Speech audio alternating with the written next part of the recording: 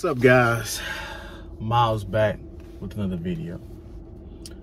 Now I got inspired do this video from my favorite YouTuber, shout out to CGA. Because he broke he made a video about this the other week and it made me inspire me to do this video, right? Because he brought up some really good points. And I just kind of want to put experience to those points that he was talking about, right? Before we get into it, go ahead and like, comment, subscribe share the video if you like the video, right? Now in this video, we're gonna be talking about corporate America. And how the game is played, right? In the office. Office game. Office social intelligence, right?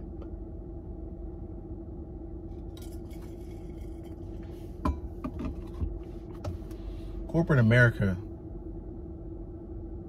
I've come to realize, see, let me just talk about my little experiences, right?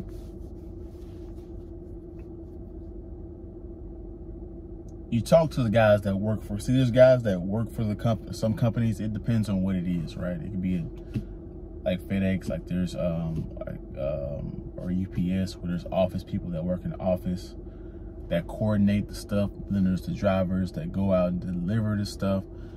Um, then you got like CPS and or in like where you work for the state, the workers go out into the world and do all these different visits and stuff while the other the supervisors and everything just make sure they do it and have a little checklist, make sure they're following policy and all these different types of things, right? I've come to realize why some of the workers or some of the people um, that do most of the work, right? They're in the field, so to say. They don't want to be in the office, right? Because they realize to be in the office, you cannot be an authentic person. Because that's not what the office is about, being in the office, right? So you learn real fast, right? And I can tell you guys from my personal experience, right? When I was in sales, um, telemarketer.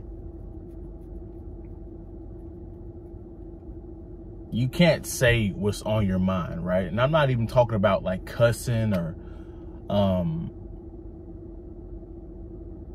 you know, arguing and being out loud and all that stuff, right? I'm not even talking about what you guys would deem as extreme disrespect, right?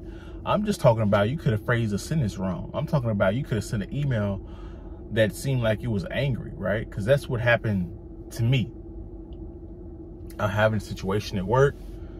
They were messed up my schedule. I was in school and everything, and they kept scheduling for hours I couldn't work. And then I come in, and then they sneak dissing and doing all this stupid stuff. You know what I'm saying? And then I get tired of it eventually because they keep doing it. And I keep telling them, but because I'm performing so well at the job, they want me to work more but I can't work more because of school. So I send an email and basically saying, hey, you guys need to get straight my schedule, right? I'm tired of dealing with this, right? You know, I was almost on the verge of being fired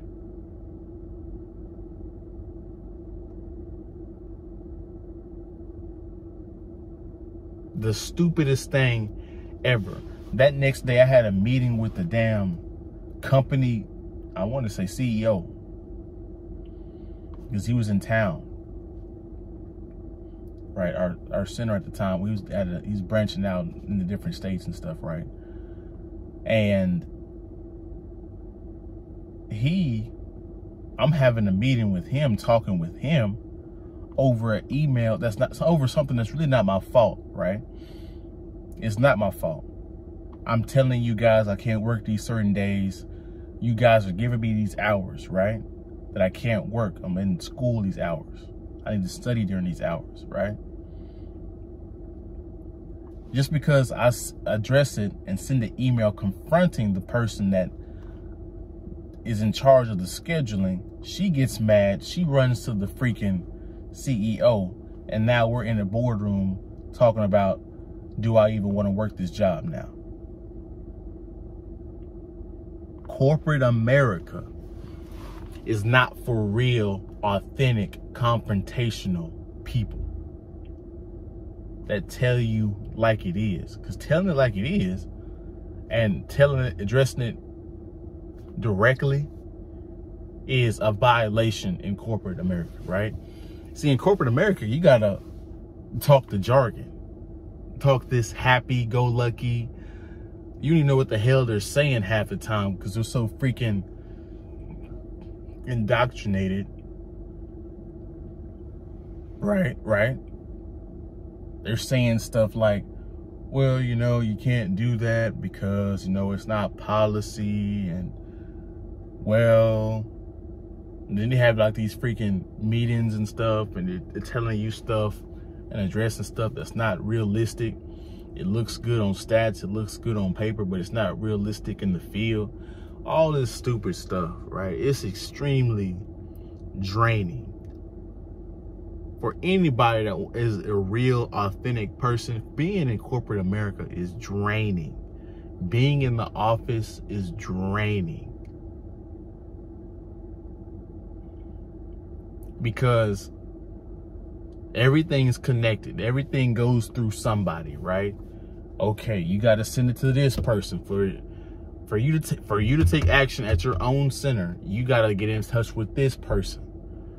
And you can't do anything until that person answers. And if that person don't answer, 2 days, well 2 days you're stuck with a problem. Or even worse, you have to go talk talk to that guy and that guy has to talk to his superior. It's just a big cluster right?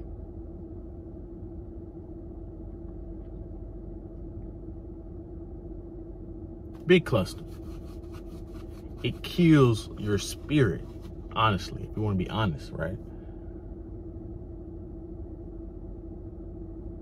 Because you have to sit in that office right and if a customer is cursing you out, you got to sit there and take it.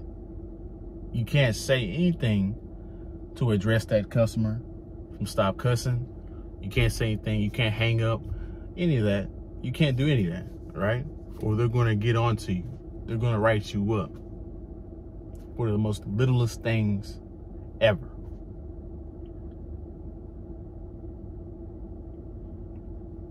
Don't even corporate America is so tough nowadays with the language and everything.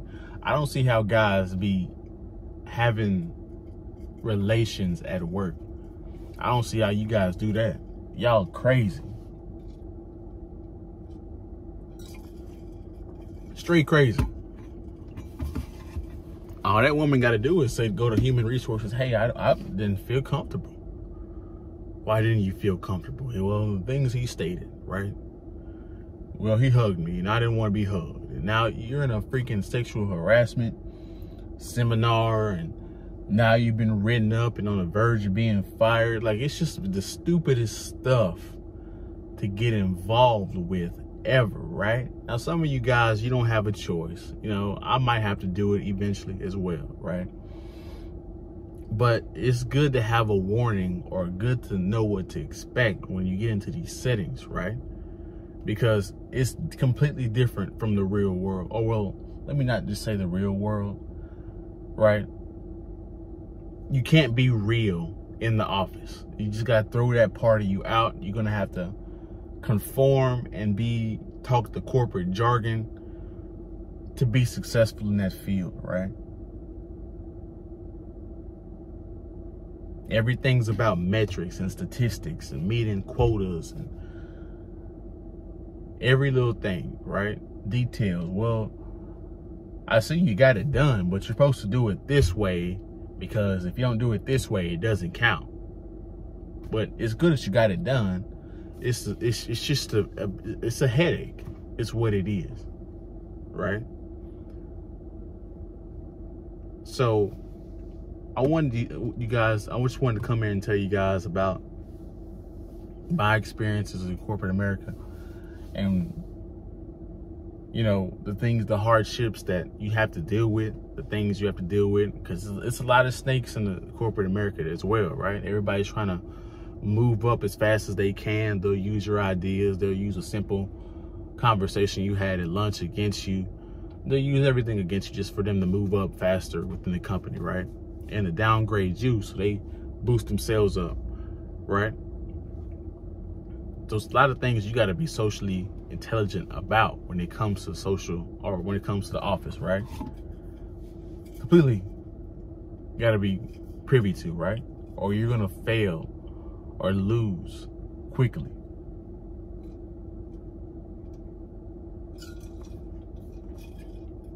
Because to be honest with you, working in the office is not for everybody. It's not. It's not for everybody.